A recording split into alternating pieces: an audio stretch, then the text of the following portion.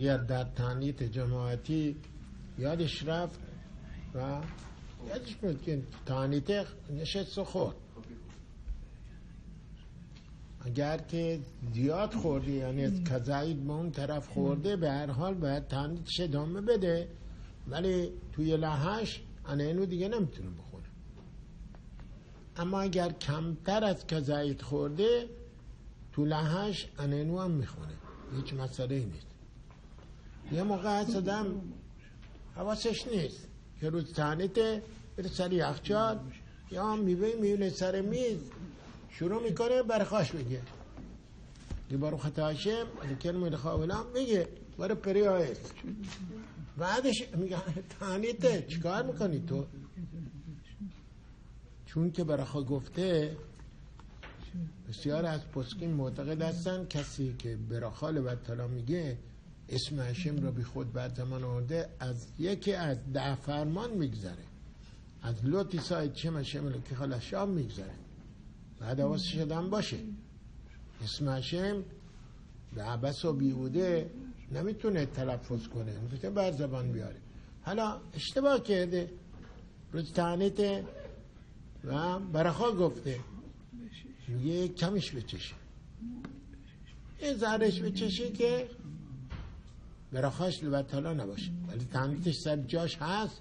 همونطوری که گفتیم هم چون کمتر از کذایده زهره گفتیم به چشه. که مزه کرده باشه که برخواه لبتالا نباشه.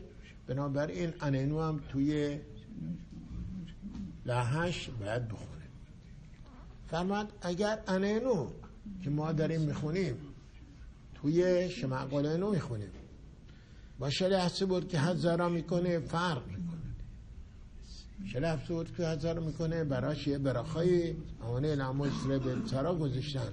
ولی برای ما که لحش می‌خونیم براخا نداره. فقط براخای همون بروخ تاشن شمیت فیلا که شما اینو میگیم برای همه اینها کابر می‌کنه. بنابراین فرماد که اگر یه نفر اشتباه که نخون انه اینو رو نخون. رسید سر برخا گفت برو خطا هشم خواست بگه شما یاد فیلا یادش اومد که الان اینو نگفته. حق نداره بگه لم دین موقع خواد. بعد ادامه بده. ادامه بده. نخون نخون آخر تفیلا بعد از الوکای نسار اونجا می‌تونه انینو بخونه. ولی حواسش باشه برخا نداره. فقط انینو گفتیم یاهید که آدم می‌خونه برخا نداره. بنابراین آخر تفیلا انینو می‌خونه.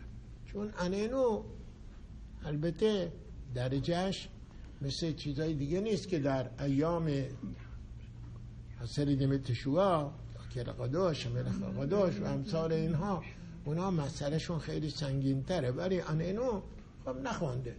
می‌تونه آخر کار بخونه. هیچ مسئله نیست. روز خوبی داشته